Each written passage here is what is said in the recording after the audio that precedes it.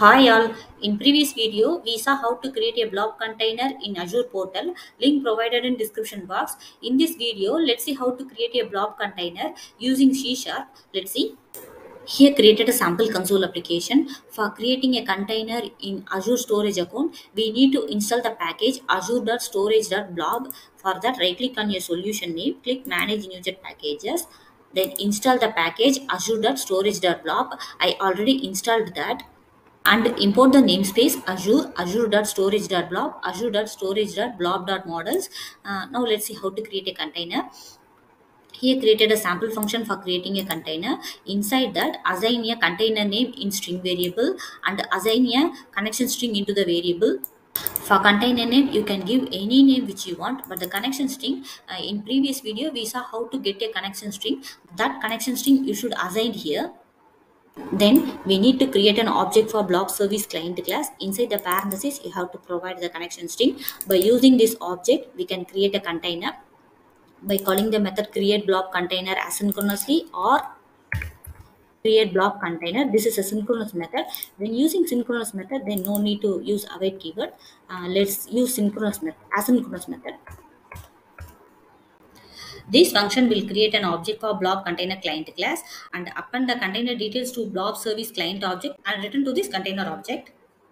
And by using this object, we can check whether the created container exists or not using exist method or exist asynchronous method. Here using asynchronous method, we can also use synchronous method. Let's use asynchronous method. If it exists, then printing the name of the container name, uh, then return success.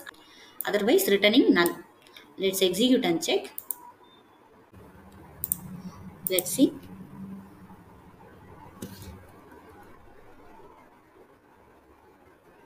See our container created successfully. See our container name is test container.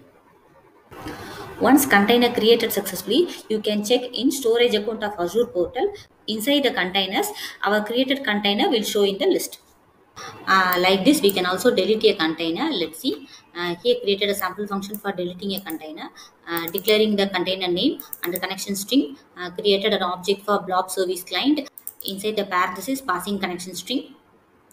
And by using get blob container client method retrieving a container details. By using the delete method deleting the container. Here using asynchronous method you can also use synchronous method.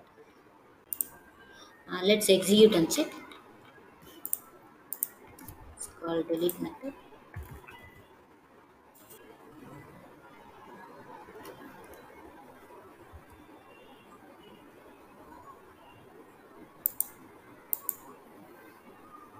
See, our container deleted successfully. Sample code given in description box. In our next video, we will see how to upload blob inside container of storage account using C Sharp.